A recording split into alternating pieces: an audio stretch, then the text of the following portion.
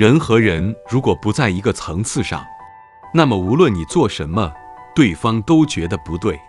所谓层次，不是社会地位，而是人品和认知事物的清晰程度。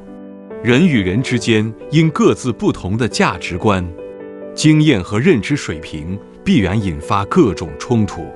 稻盛和夫曾言：“当你接触的人越多，你就会发现，比你层次高的人会鼓励你，同层次的人会欣赏你，比你层次低的人才会诋毁你。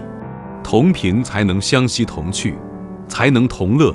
只有灵魂相似的人，才能看出彼此之间潜藏的内在。懂您的人不用言语，不懂您的人百口莫辩。有人捏着您的过往。不依不饶，也一定会有人会跨过山河来守护您。